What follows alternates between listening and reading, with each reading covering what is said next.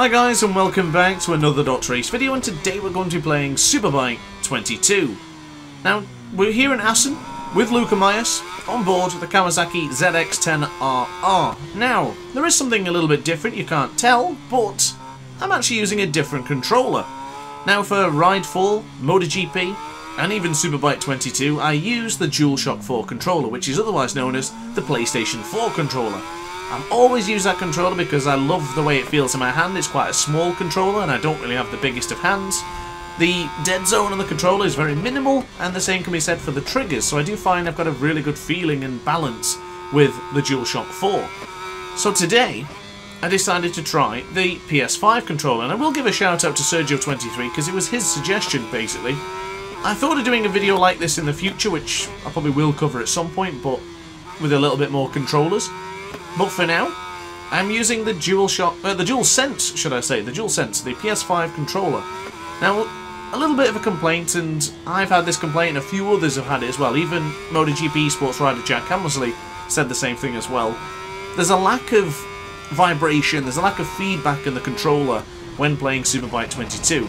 It's rather strong in MotoGP, it's rather strong in Ride 4, but in Superbike 22 it's not so much.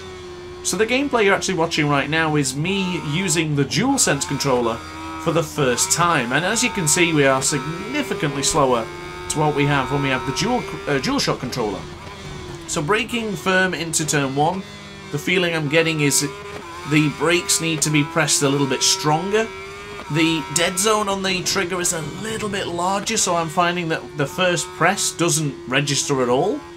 But it, not in a bad way, it does feel like it's got more more um, length, if that's a term, the more pressure. There's, there's there is a saying for it, and I cannot remember what it is, but there's more to it. It's like a longer press rather than just pressing the button with the DualShock, DualShock 4 and finding yourself slowing down. So, more travel, I think, is the word I was looking for, but I am pleasantly surprised with the results in this one. Of course, I'm recording this one after I've actually done this, and to see that I'm only a couple of tenths of a second down to the, the control I've been using for the last 10 years is pretty impressive, and I'm quite happy with that.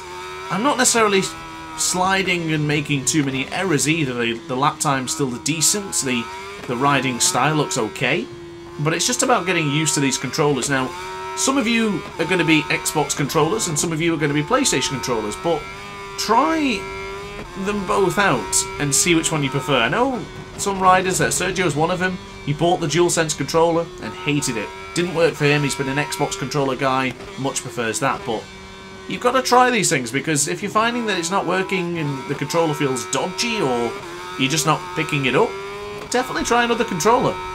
But so far so good. Into the second lap we are about a second slower, a little bit better than what we did in the previous lap, but as each lap goes on, the better the controller will feel. And now, my biggest worry is how will it feel when I go back to the DualShock 4? is my feeling going to be completely ruined? I guess we'll find out, but firm and the brakes into scrub and we'll go, but not firm enough. I didn't trust the front brake with the DualSense controller, so unfortunately that is a lap scrubbed off, and we're going to be trying another lap or another few laps with the DualSense just to give it a really good try, and then I'll do the same with the DualShock to talk about the differences and how it feels. But so far, I find the PS5 controllers a bit chunky. It's a little bit big for my heavy hand, uh, for my small hand, should I say, big and heavy for my hands, and it's, it's okay though. It's fine. It does feel premium, if that's if that's a word. It feels quite good quality, a bit better build quality than the more plastic designs of the PS4 controllers. But uh, I'm genuinely interested to see what you guys think and what controllers you use. Have you tried others? Will you try some more? Or are you just going to stick to what you know? Because it's one of those things, it's a very personal thing. The controller is the most sacred part of gaming, or the mouse and keyboard is as well. You've got to have those peripherals that work for you to enjoy the experience, and they have to be working well for you to really experience good feedback and good racing, because racing is one of those fine, fine adjustments and fine tunes that can just change everything. So definitely consider that and just trying another controller. But this is still on the DualSense, and we're up by 7, 8 tenths of a second, sliding into Ramshoek here. This is looking rather promising. So after that first, not crash because we stayed up on aboard, and we went a little bit wide into Strubben, I feel pretty good.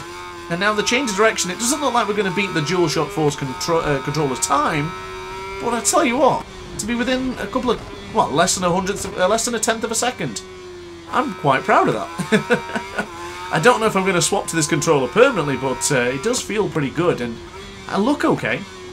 I don't look like I'm making any particular massive mistakes, but that was a decent lap, and I do find the bike feels a little bit more stable under braking than the DualShock 4, which is odd, because I'm so used to the DualShock 4, but I don't know. I'm a little bit keen to see if we can beat the lap time here, because this was not a particularly impressive lap I set anyway. This was just the video I did for the Assen guide, where I was just trying to show you guys how to tackle this track.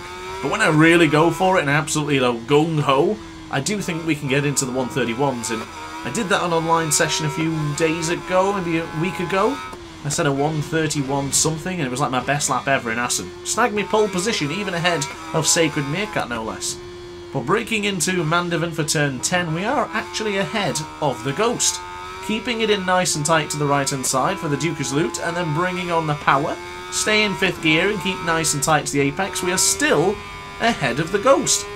And if we're ahead of the Ghost by a tenth of a second, this could be a new lap time record for me.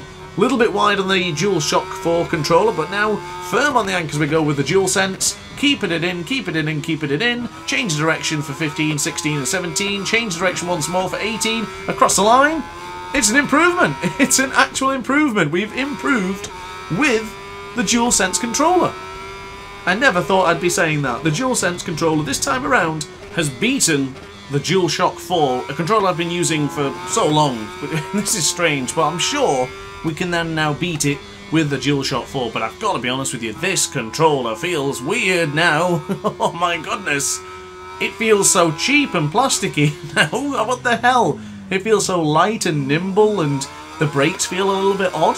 Like I can only press it a little bit and it really is strong. I much prefer the analog stick now getting back to this one. I do like the feeling of it being so precise that even the smallest movement will register with the game, but it looks like the feeling is still there, and we're already up by three tenths of a second, so this could be a done deal for the DualShock 4, and this could be an absolute ultimate win. We'll find out as well uh, as we go on, but now into De Bult for turn 9. I always make a little mistake here going into 9 and then into 10, but so far so good. A little bit gentle on the acceleration coming out of Mandeveen, but it will bring on the power, and we'll keep it in nice and tight for turn 11 here. A little bit too tight there, got a little bit too greedy. We'll bring it in nice and tight once more for turn 12. I was going to try and pronounce that corner name. Someone gave me some advice on that one. I still can't pronounce it. We'll we'll try again at some other point. But now into Ramshoek, we're losing a bit of time, but and this should be where we're superior. On the brake, sliding it into the gear to chicane. Oh, I got caught on the, the inside the rumble strip there. It sort of sucking me in. That was a strange feeling. It didn't really happen on the DualSense, so that was odd, but firm on the brakes we'll go for turn one. I'm going to try and do the four laps here as well, so what we did earlier with the, the DualSense, we'll do pretty much here as well. So it's going to be eight laps in total, four laps for us to at least go on par with the DualSense controller. I never thought I'd be saying that, I really didn't. I expected this video to be very one-sided. Going into Strubben, I do feel a lot better. I feel like I've got a lot more confidence with the bike. Upshifting, everything just feels a lot better. But with the same button layout, the analog sticks in the same um, asymmetrical uh, view, it does feel a lot better for me. I've always preferred the PlayStation controllers, and now we're beginning to get ahead of the Ghost. This is going to be a rather important sector because I do find Sector 3 is my weakest sector and look how much quicker we were with the DualSense, not bad, but firm on the brakes will go for the left hand side, into De Bult will go, a little bit out of shape, a little bit slipping and sliding, but I do like to play that way. I know it might look a bit aggressive and a bit dangerous, but I do rather enjoy just sliding the rear in and I didn't feel I had the confidence to do it with the DualSense. Now I know the, the DualSense controller was a little bit Um, how do I describe this? Inconsistent, let's say. The lap times a bit all over the place, and this one so far looks to be pretty solid. We've jumped straight on, we've done a 132.1, and we're going to do another 132, I do hope, as we go firm on the brakes, keep it in nice and tight, get the change direction. I've just touched the apex once more. Has lost us a little bit of time, but bringing on the power across the line, it's a second lap in a row with a 132.1. So very important to feel and understand the consistency. Yes, we might do quicker with a different controller, but the be-all and end-all is being consistent. Reliable and consistent. And so far, no crashes, only one big mistake which we went into scrubbing too hot, which is quite rare that we do that, but now change the direction into my favourite corner here in Assen, keep it in, keep it in, keep it in, bring on the power, slightly eager on the acceleration, that's the difference between the triggers there. The very small travel with the DualShock 4 compared to the larger travel with the PS5 controller is rather one a rather difficult one to get used to, let's say. But I got caught up watching us fight the Ghost Edge a moment ago, but now to the right hand side for Stekkenwal. Keep it in, keep it in too tight there. We've done that too many times. And now we've lost a little bit of ground to the Ghost, but it's not a problem. We can go into De Bult quite confidently, keep it in nice and tight, bring on the upshifts, and keep it in nice and tight once again. Downshift to first, that's a bit of a mistake, and yes, I felt that was coming. Downshifting there into first gear is not what I usually do. Overthought that one a little bit, because I'm actually feeling the pressure to beat the lap time that's been set because it just feels weird to know that the DualSense controller is ahead. Uh, this is not a controller I've been using often. I very rarely go on my PS5 now, to be quite honest with you. But we're now ahead of the Ghost. We'll tackle Strubben in a moment. And if we get the good line coming into this corner, because this is where I feel far superior, the, the corners such as Strubben with the really tight, really hard braking zones, I do feel a lot better than I did with the DualSense, but that's not to say the DualSense controller didn't do it well. We still felt pretty confident, but it's just those few nuances that feel different, and that's what's most important. But since we wasted the lap on uh, the previous lap time when I crashed, I will call this one the final lap because I'm trying to give it both lap times, both four laps each, and one of them we blew on the dual uh, the DualShock. So now into Mandeveen for turn 10. We are up by a tenth and a little bit, so I think this is the lap time we do take over from the front and we do replace the DualSense as the top controller for Superbike 22. But this has been a very fun idea and I'm keen to see if you guys have any suggestions. I've got some more guides to do and a few other things as well, but this one looks to be a done deal now three tenths of a second up as we go into the Geert Timmer chicane. I was going to say my favourite part, but that's almost a little bit better than Strubben. But oh, we, we messed it up actually into 17. We absolutely blew it. We've absolutely whiffed on the final lap. Well, I didn't see that coming, but the proof is in the pudding.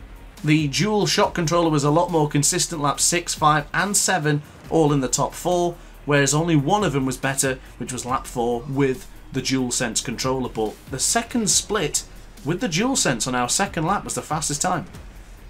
Interesting. Very, very interesting. I've really enjoyed making this video, so I hope you guys did too. Again, let me know in the comment section down below what controllers you use and which one you want me to try next. And I guess I'll see you in the next video, so thanks for watching, it's been a pleasure. Like, comment and subscribe, and I'll see you in the next video. Ciao for now. Oh hi! Didn't quite see you there. Good to see you're still here. If this video didn't quite set your appetite, then why not watch some more Dr. Ace content by clicking the video shown on screen now. Furthermore, if you would like to follow me on social media, you can do so now with the links down in the description. Consider subscribing so you don't miss a single Dr. Ace video.